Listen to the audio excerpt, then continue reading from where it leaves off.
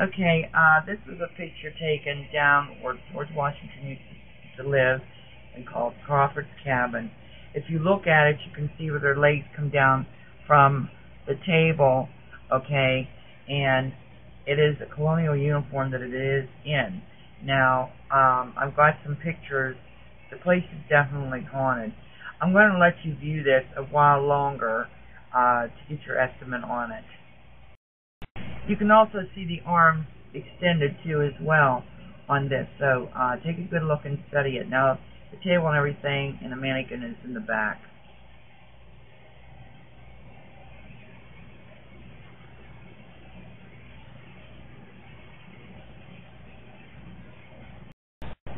Okay, this is of a smokehouse on an investigation that we did in Greene County um, last year, and this place really, I mean, the energy really hits you hard. And this was an old smokehouse. And look at the ectoplasmic vapor that uh, one of the uh, team members had taken and caught that um, on the top of the roof there.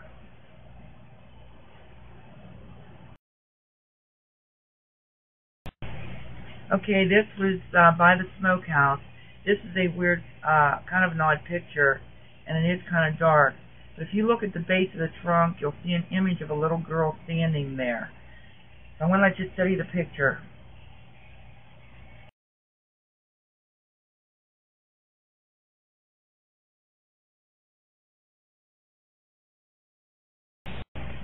Okay, this was also taken in Crawford's cabin.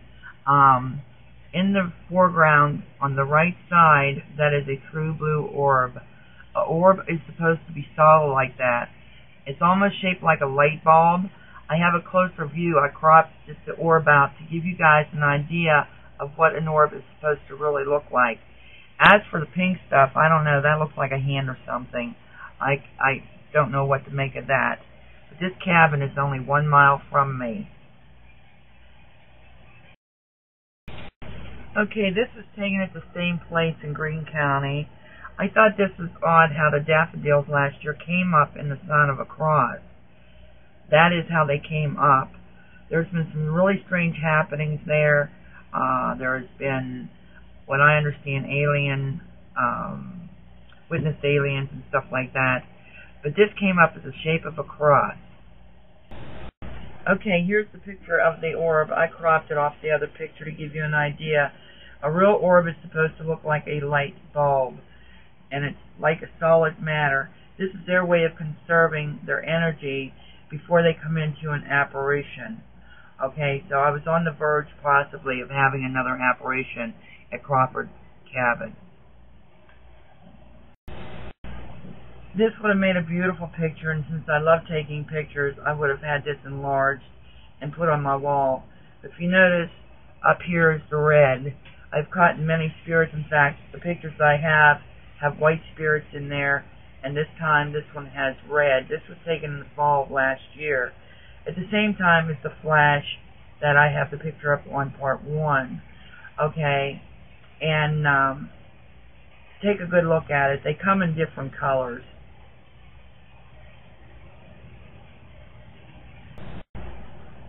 Okay, this picture here you guys haven't seen. But second, before I flashed the second set, this was the first that I had taken, meaning it was before the band started playing. And through my studies, I have um, analyzed that music brings up the vibration to the spirit realm, okay?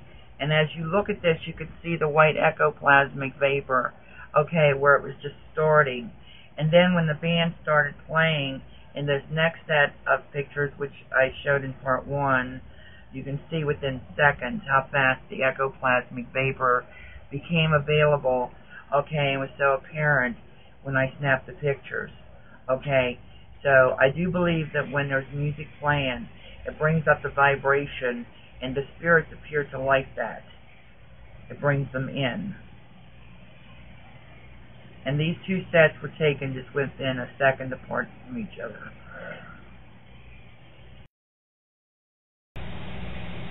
Okay, um, I have more pictures to show, okay, but through wallpaper and paint and I've tucked them away.